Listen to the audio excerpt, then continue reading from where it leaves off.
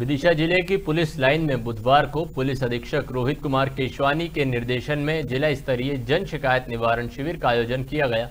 आयोजित शिविर में सीएम हेल्पलाइन की लंबित शिकायतों के निराकरण हेतु ज़िले भर के शिकायतकर्ता पहुँचे, जहाँ पुलिस अधीक्षक रोहित कुमार कशवानी ने लोगों की समस्याएँ सुनी और उनका निराकरण किया। इस दौरान ज़िले भर के एसडीओपी भी शामिल हुए।